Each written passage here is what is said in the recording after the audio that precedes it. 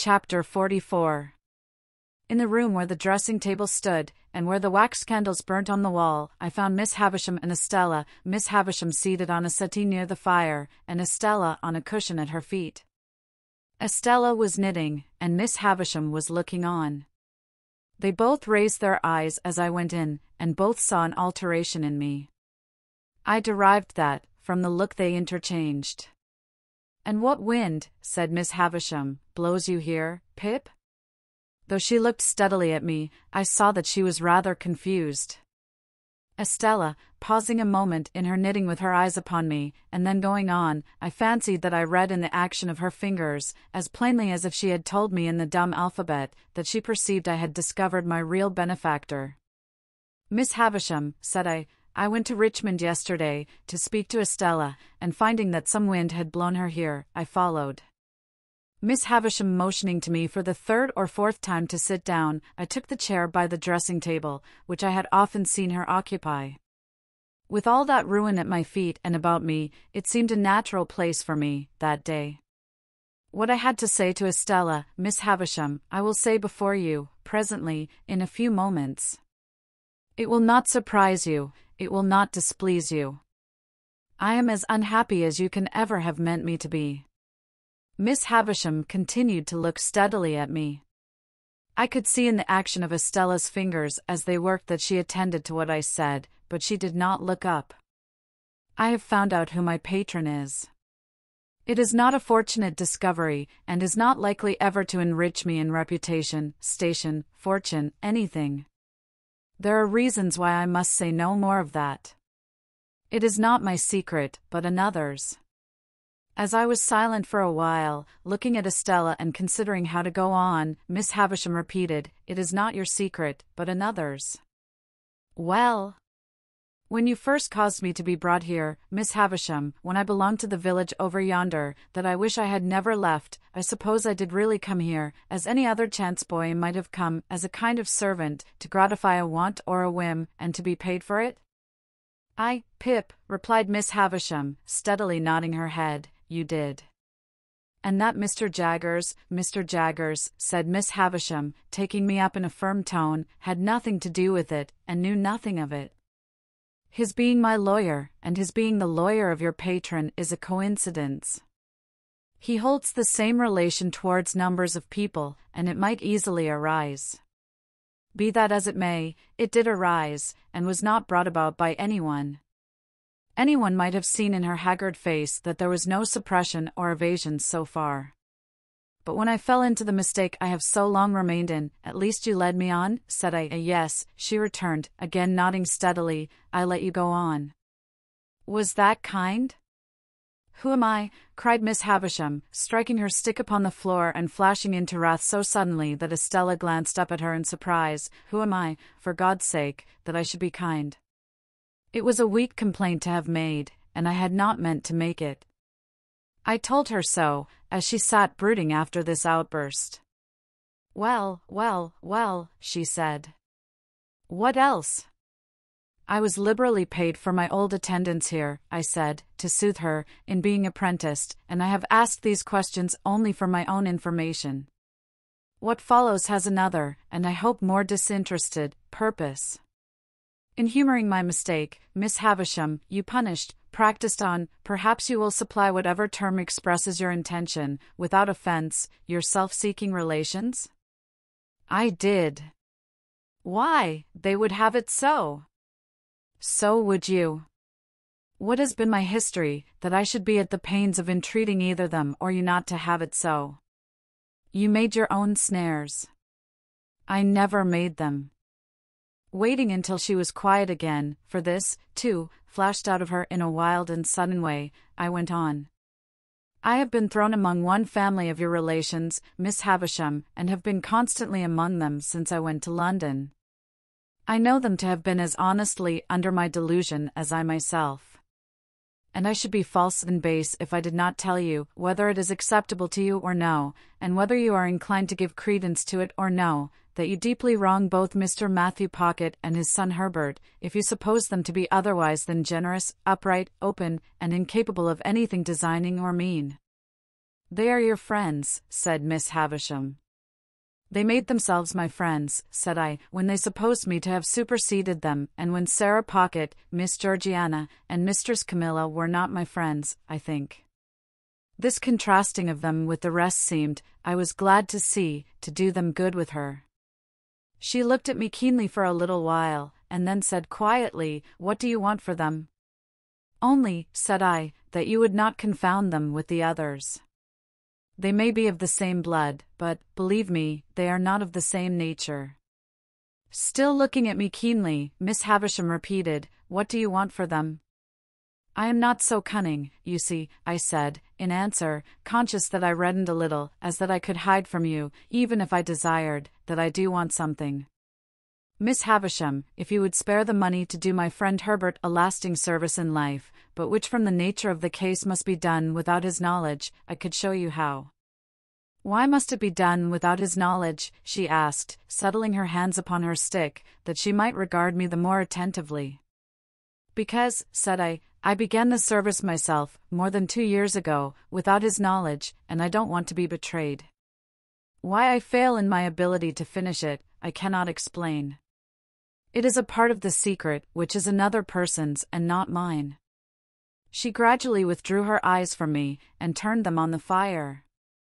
After watching it for what appeared in the silence, and by the light of the slowly wasting candles to be a long time, she was roused by the collapse of some of the red coals, and looked towards me again, at first, vacantly, then, with a gradually concentrating attention.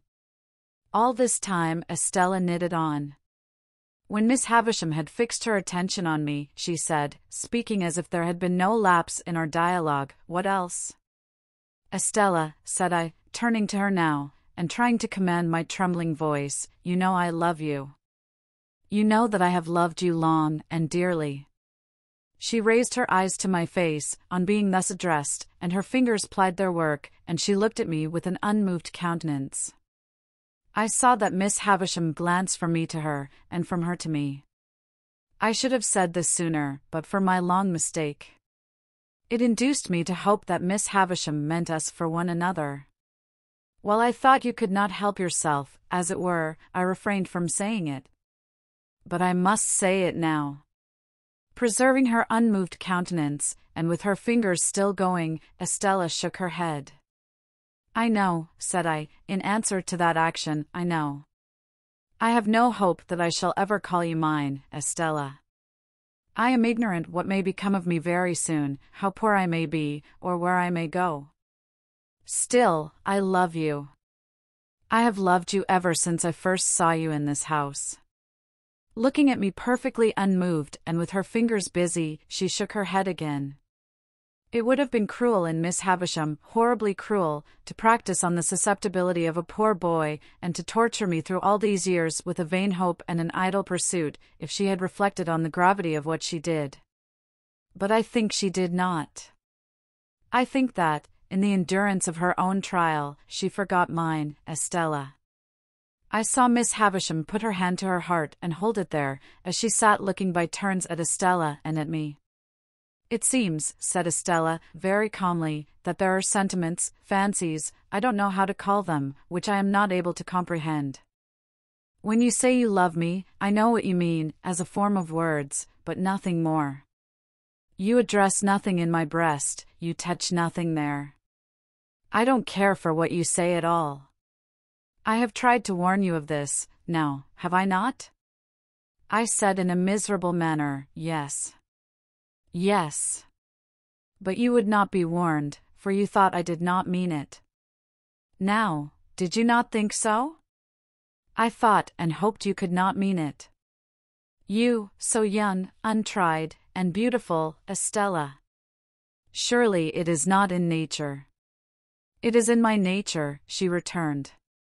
And then she added, with a stress upon the words, It is in the nature formed within me. I make a great difference between you and all other people when I say so much. I can do no more. Is it not true, said I, that Bentley Drummle is in town here and pursuing you? It is quite true, she replied, referring to him with the indifference of utter contempt. That you encourage him and ride out with him, and that he dines with you this very day? She seemed a little surprised that I should know it, but again replied, Quite true. You cannot love him, Estella. Her fingers stopped for the first time, as she retorted rather angrily, What have I told you?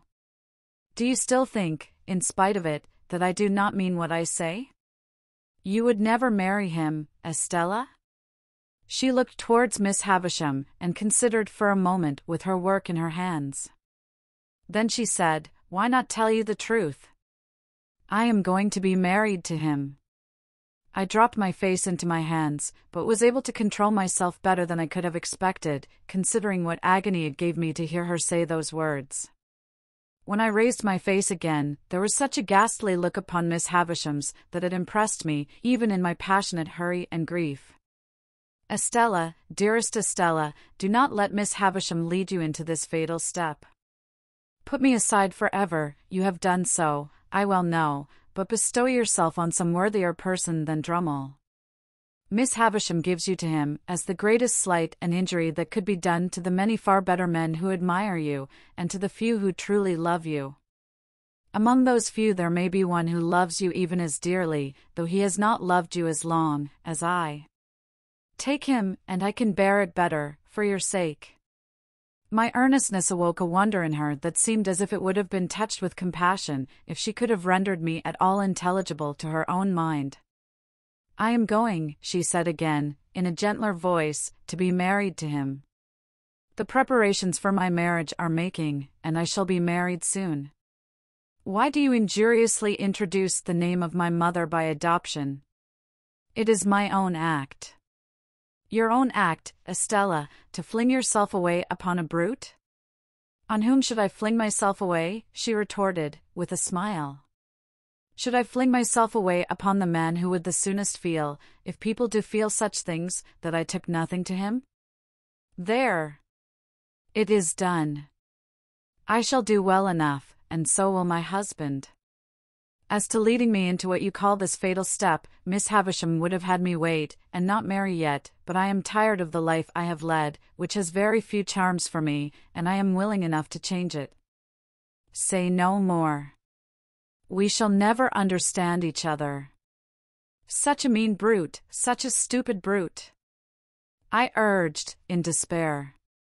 Don't be afraid of my being a blessing to him, said Estella, I shall not be that. Come. Here is my hand. Do we part on this, you visionary boy, or man? Oh, Estella! I answered, as my bitter tears fell fast on her hand, do what I would to restrain them, even if I remained in England and could hold my head up with the rest, how could I see Drummle's wife? Nonsense, she returned, nonsense. This will pass in no time. Never, Estella. You will get me out of your thoughts in a week. Out of my thoughts. You are part of my existence, part of myself. You have been in every line I have ever read since I first came here, the rough common boy whose poor heart you wounded even then. You have been in every prospect I have ever seen since, on the river, on the sails of the ships, on the marshes, in the clouds, in the light, in the darkness, in the wind, in the woods, in the sea, in the streets. You have been the embodiment of every graceful fancy that my mind has ever become acquainted with. The stones of which the strongest London buildings are made are not more real, or more impossible to be displaced by your hands, than your presence and influence have been to me, there and everywhere, and will be. Estella, to the last hour of my life, you cannot choose but remain part of my character, part of the little good in me, part of the evil. But, in this separation, I associate you only with the good, and I will faithfully hold you to that always, for you must have done me far more good than harm, let me feel now what sharp distress I may. Oh God bless you, God forgive you. In what ecstasy of unhappiness I got these broken words out of myself, I don't know. The rhapsody welled up within me, like blood from an inward wound, and gushed out. I held her hand to my lips some lingering moments, and so I left her.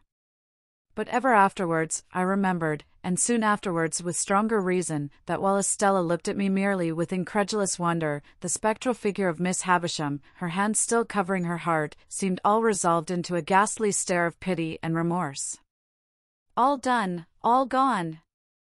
So much was done and gone that when I went out at the gate, the light of the day seemed of a darker color than when I went in.